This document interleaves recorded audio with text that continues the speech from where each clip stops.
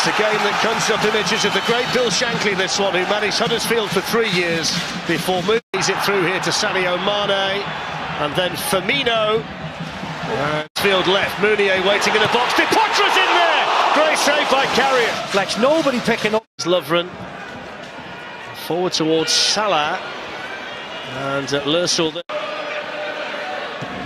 tries his luck, Emre Can, and it just took a bounce in front of that cross. It's cleared as far as Can. Ball goes out to Robertson. This is a nice ball in, but it's a good headed clearance. Target, it's going to be Emre Can's goal. Wide here for Robertson. It just showed a bit too much of that to Hadergjonaj, but he can still...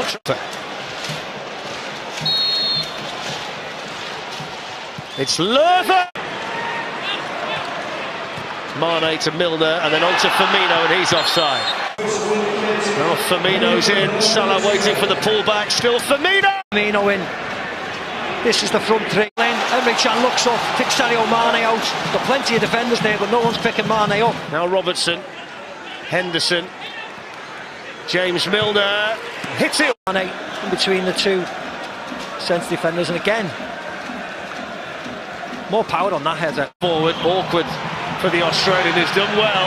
And then corner, down he goes. He goes to ground very, very easily, and Kevin Friend's right to wave play on this occasion. First half.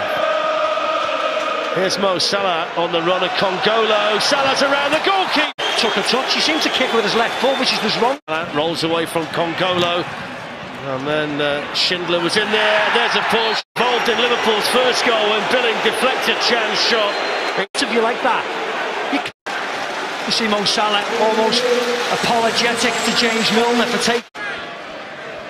In it goes from Billing. Lovren was in there. Tom Ince with a shot on the turn. That took a couple. Has made his way into the box. Ince in there as well. Matip got a block. Here's Ince. Chance for Huddersfield.